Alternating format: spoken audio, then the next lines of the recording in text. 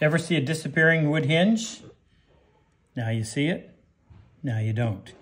What's the secret? Well, it's essentially a dowel that has several little pins in between each segment. One gets glued to the lid, one gets glued to the box, lid box down the line.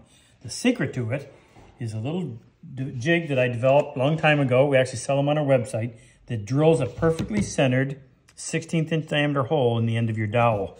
So you simply spin it and as you push it in, it gives you that perfectly centered hole. We use 16th inch rod to connect the two pieces together and that makes your hinge. So then you can turn out boxes that look like this where that hinge completely disappears, looks really nice and clean on the inside. Let me know in the comments what you think. You can find it at robcosman.com.